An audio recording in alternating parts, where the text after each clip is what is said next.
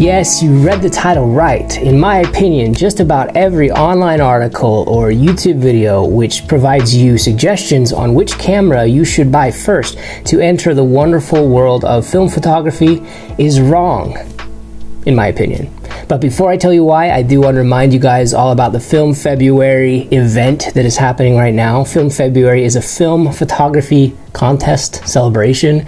Um, it's something I've been wanting to do for a long time, and this year it's finally come together. It's a collaboration that we're doing between us and a bunch of other YouTube channels where you guys send us one to three undeveloped rolls of film.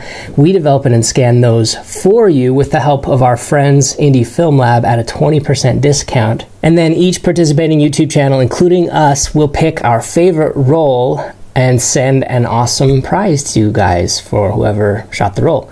Um, we're giving away a $100 gift card to KEH.com to learn what the other channels are giving away, also to get all the nitty gritty details um, like rules and deadlines and whatnot. Go to filmfebruary.com and yeah, check that out and come celebrate film in February with us. So if you're watching this video, you're one of three pe- types of people. Um, the first are people who don't shoot film and you don't want to, you never will. You're just bored and you're nice and you watch all of our videos and we love you guys for it. Thank you. We feel your love and we appreciate it. The second type of people are longtime film photographers. This video will probably apply less to you folks.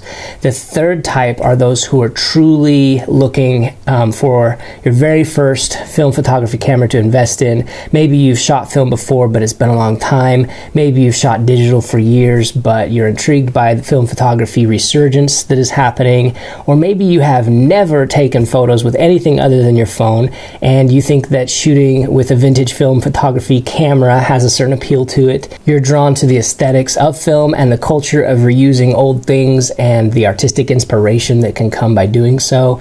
And if I just described you at all, my hunch is that when you think of film photography, and buying your first camera, you're thinking about something like this, um, an old SLR style camera, or maybe maybe something like this, an old rangefinder style camera, um, something from maybe the 50s or 70s with cool dials everywhere and metal housing, clicky little bits and parts, uh, mechanical shutter rewinds, and all of that stuff that provides that ASMR photography experience that you're looking for in your life. And if you've watched the videos or read the articles about which film cameras are great for beginners, I'm sure you've seen cameras that look like these. We're talking about the Pentax K1000 or the Canon AE1. Those are the ones that um, a lot of people talk about, and um, those are a lot like this one. This is my favorite camera. This is the Nikon FE2, um, my favorite SLR style fil- uh, film camera.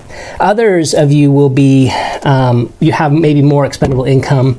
Maybe you're interested in like the Leica M3 or um, a rangefinder. My favorite rangefinder style camera, film camera, is actually the Rollei 35S. This little guy right here. But while all of these cameras will make you feel great at the time of shooting to own, to use, to play with, um, you'll probably really enjoy shooting with them. There uh, is a reason why, in my opinion, these are not the right first cameras for your foray into film photography.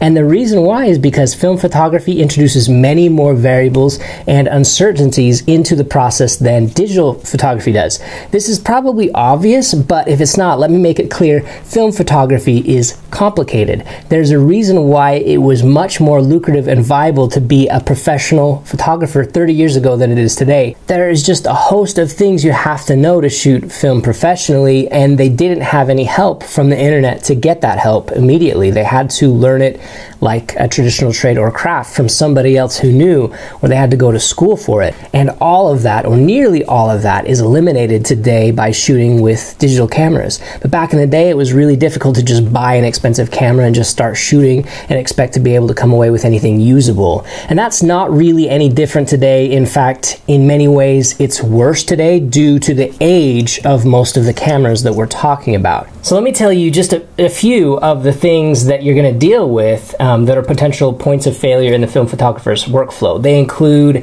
accidental film exposure and light leaks, shutter mechanism speed inconsistencies, manually focused lenses, clear understanding of um, changing lighting situations and how to expose properly, all fully manually without uh, sometimes any assistance from light meters, or maybe you got some help from light meters but it's slow, or worst of all, a light meter that's inaccurate. Um, film is also quirky, learning the characteristics and behaviors of different kind of emulsions and different kind of situations, whether that be black and white, color negative, color slide, when to use and which and why, um, what to avoid in um, certain situations that might give you trouble, then there's the development side. Which lab do you use? How do you instruct that lab on how to process your film and how to scan it? What types of scanning, um, what type of development processes, or even more complicated and dozens of additional variables and unknowns um, if you decide to save some money and develop it in home. And then add to all of those variables the added complexity of time. It takes time between exposing the film and development. When things go wrong, it's difficult to isolate and understand where in that long process you had something fail. Um, did the film fail due to light leaks in the camera or because of a faulty shutter? Was the camera fine? It was just the fact that you decided to develop yourself and you messed up your development times or let some light into the development tank somehow. Did you forget to account for the ASA or ISO change when you put in a different roll in your camera? Um, were you using uh, a TLR style camera where it's possible to shoot multiple exposures on the same frame and you forgot to advance um, the film each time? Did you load your film wrong so that it wasn't really advancing the roll and you had no idea because you rewound it and you didn't know that your film never advanced and you didn't shoot your roll?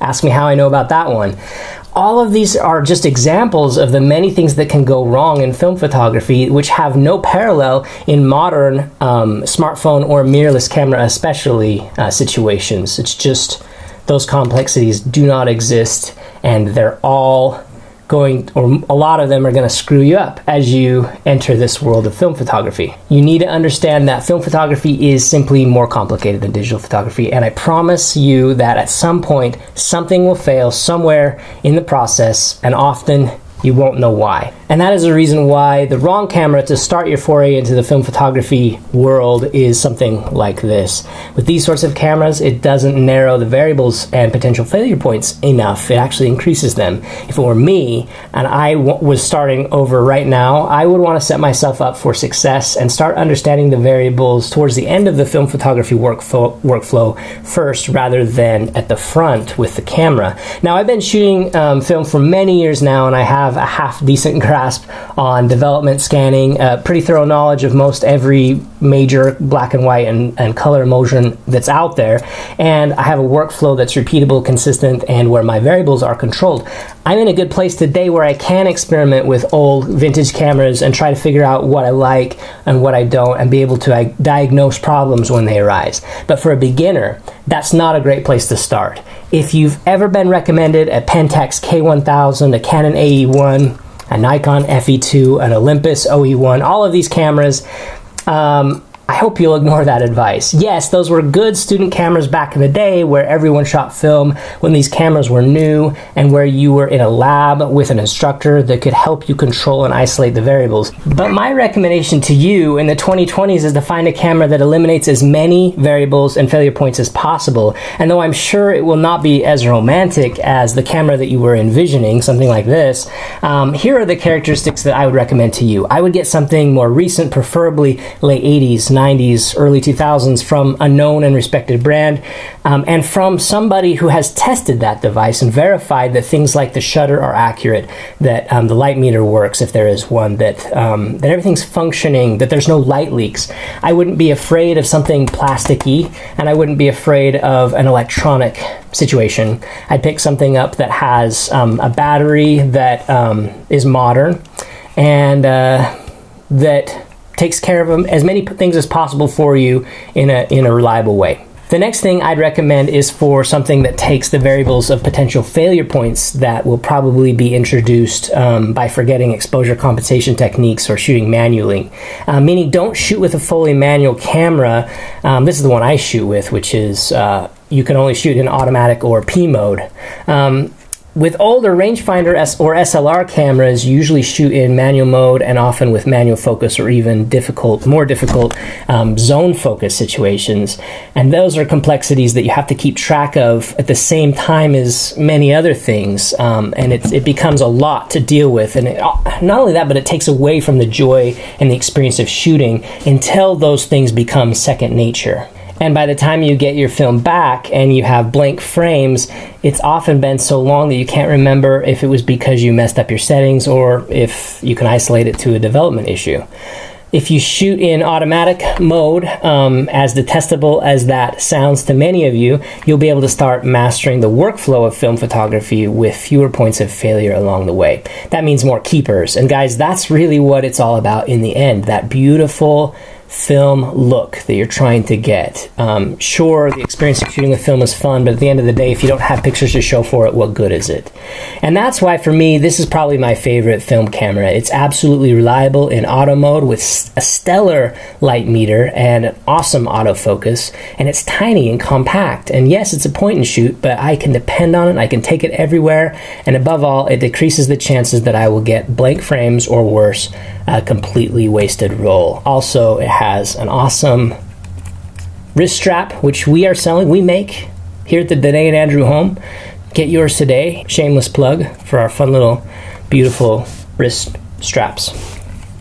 Where was I? So that's my recommendation to you. Get something as new as possible with a reliable light meter, autofocus, and semi or fully auto mode, and ease into film photography. You can still find great cameras that fit that description for a budget.